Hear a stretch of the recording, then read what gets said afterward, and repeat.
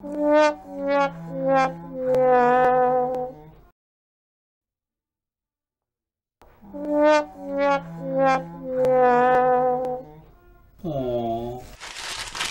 So, I went back to Fremont Pizza.